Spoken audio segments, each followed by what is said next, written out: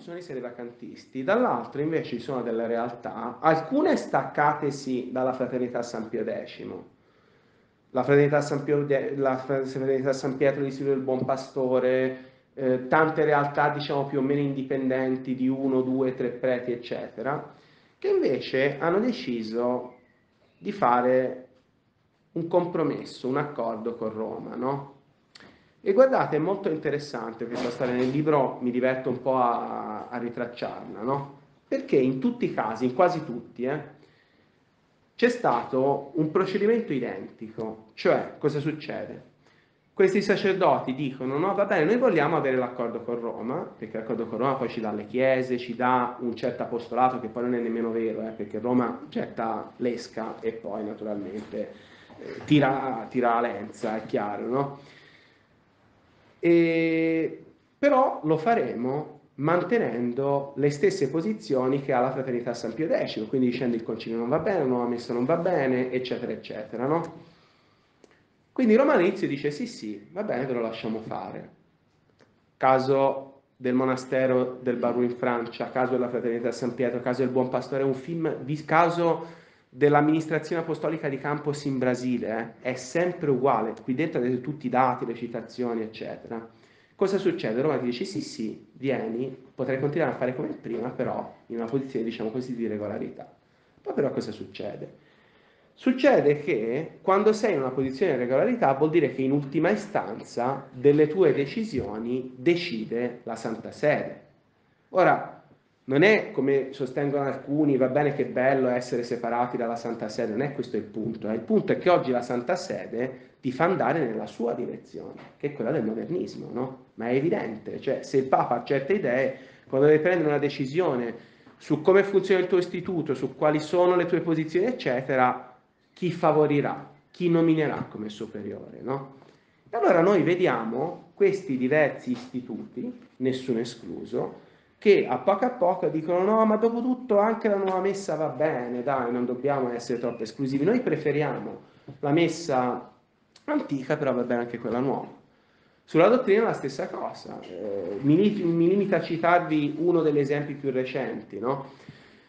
Quando c'è stato Traditionis Custodes, molti di questi istituti si sono arrabbiati allora ci sarebbe potuto aspettare che avesse detto no, noi non seguiremo mai questo documento, no? ma noi tutti ci speravamo, perché contrariamente a quello che alcuni affermano, non è che noi della Fraternità San Pio X siamo contenti di vedere delle persone che si annacquano e che a poco a poco aderiscono alle dottrine moderniste, no? Invece cosa è successo? I superiori di tutti questi istituti si riuniscono eh, a Bordeaux, in Francia, fanno una riunione e cosa esce fuori? Esce fuori un documento in cui loro dicono no, ma perché ci avete tolto la messa? Dopotutto noi accettiamo la nuova messa, accettiamo le dottrine del concilio eh, e anzi concludono con delle citazioni di Amoris Letizia, come dire, vabbè, anche quello dopo tutto ci va bene. Cioè si continua, si continua, leggetela, cioè si trova su internet, questo, qui c'è la citazione, no? Cosa succede?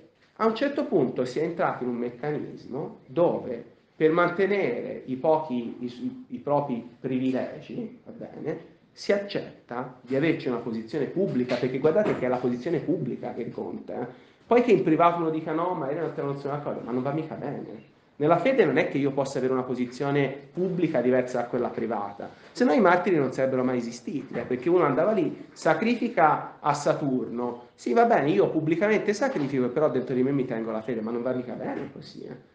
Cioè io non è che posso dire in pubblico io aderisco al concilio, aderisco alla nuova messa, aderisco al nuovo magistero, pensando che io in realtà non sono d'accordo. Cioè questa è una cosa estremamente grave, eh? estremamente grave. Quindi io preferisco pensare che loro hanno veramente cambiato idea piuttosto che pensare che stiano facendo una commedia, eh?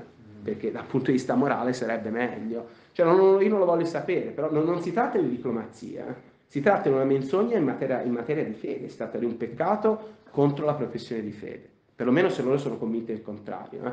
Io se sono convinto che eh, lo Stato, come dire, che, ehm, che di, per principio lo Stato debba riconoscere la, la, la, la, vera religione, non posso dire per averci la Chiesa o per averci il favore episcopale No, no, in realtà lo Stato deve essere laico, eh? questo non va bene. Così come eh, il, il, cristiano dei primi secoli non poteva dire io credo a Giove e a Giunone per avere salva la vita, anche se poi dentro di lui non ci credeva. Va bene? Quindi attenzione perché questo atteggiamento non è in nessun modo ammissibile, chiaramente. Però vedete, c'è una frase indicativa che, perché attenzione, tutto questo era voluto e progettato da Roma, no? C'era il, il cardinale Cottard, che era uno di quelli ehm, che, ha, diciamo, che, ha, che, ha, guidato no? questo traghettamento degli istituti ex Ecclesia Dei a Roma, che dice dobbiamo aspettarci, ci sto citando, è poco alla volta, altri atti di avvicinamento, per esempio la partecipazione alla concelebrazione del rito riformato. Ma bisogna avere pazienza. L'essenziale è che non si oppongano a lungo. L'unità ritrovata in seno alla Chiesa è in sé una dinamica interna che porterà i suoi frutti. In altre parole, stando con lo zoppo si impara a zoppicare.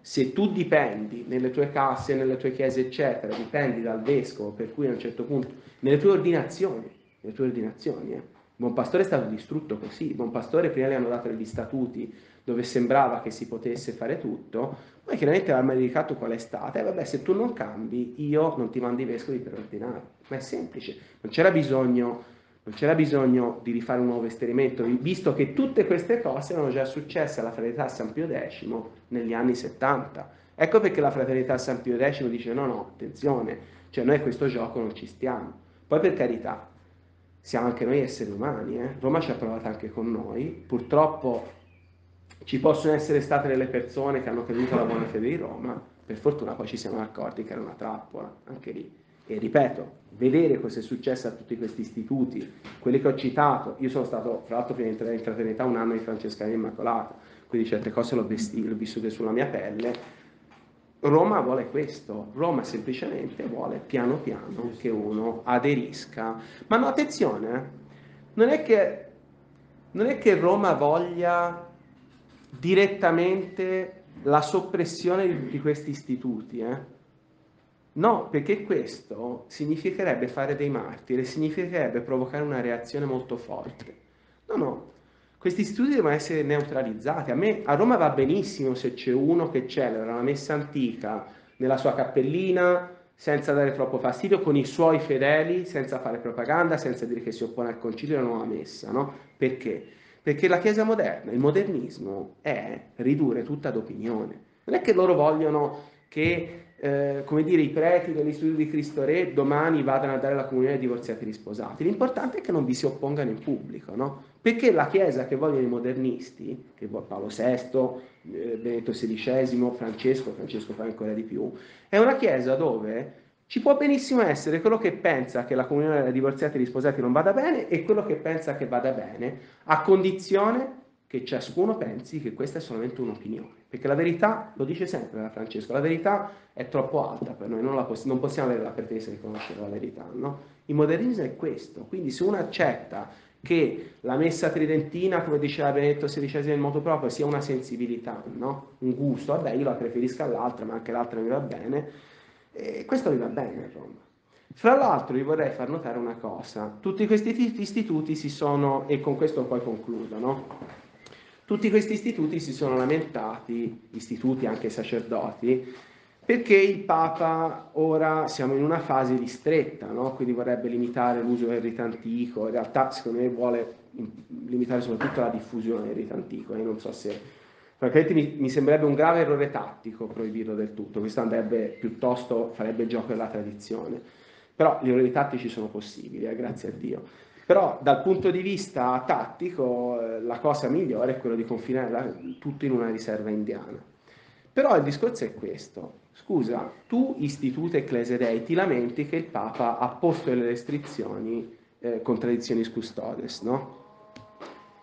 Però questa lamentela è priva di oggetto. Perché? Perché se tu dici che anche la nuova messa va bene, ok?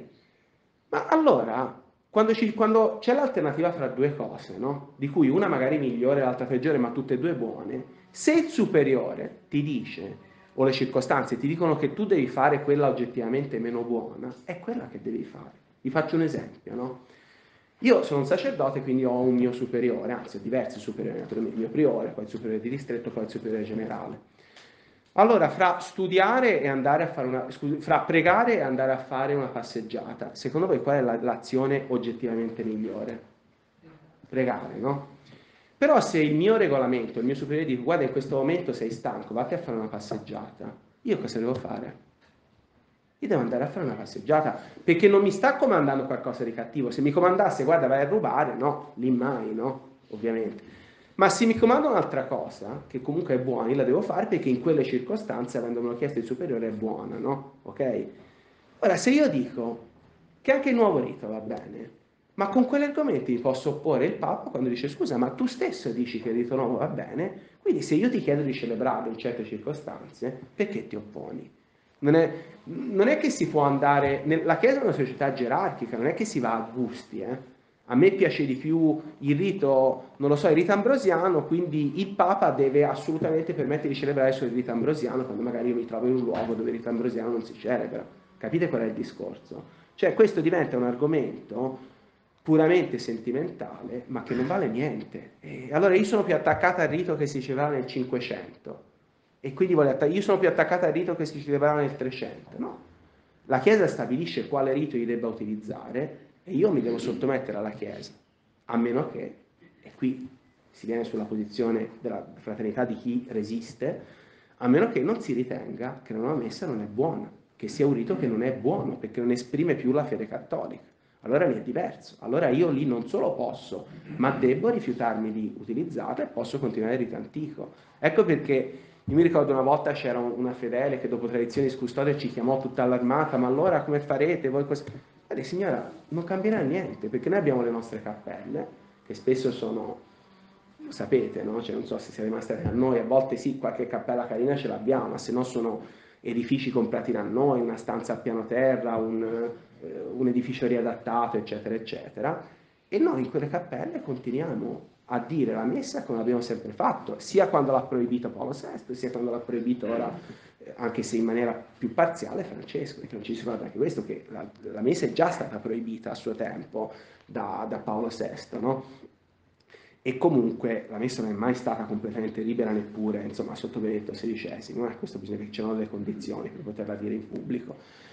Detto questo, eh, è chiaro che se tu hai un'idea chiara di cos'è giusto e di cos'è sbagliato, non attenzione, ripeto, perché è la nostra opinione, eh, perché è quello che la Chiesa ha sempre fatto, ha sempre creduto, è chiaro che poi non ti sgomenti più di quello che fa Roma, semplicemente perché tu sai che a un ordine ingiusto, a un ordine illegittimo, non si può e non si deve obbedire, perché lì non c'è nessuna obbedienza che tenga.